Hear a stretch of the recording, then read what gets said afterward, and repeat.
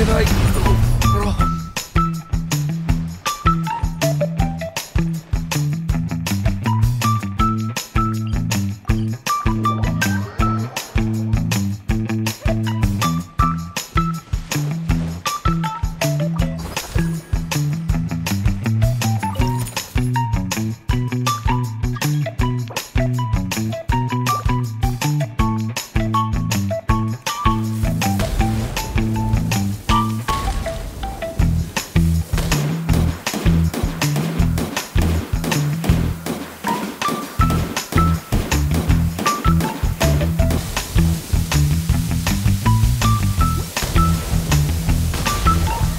There can be no excuse for defeat.